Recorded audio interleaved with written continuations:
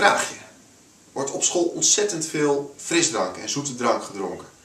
Wat zou volgens jou het verschil zijn als scholieren op school alleen maar water zouden drinken en alle zoete drankjes zoals appelsap of frisdrank zouden laten staan?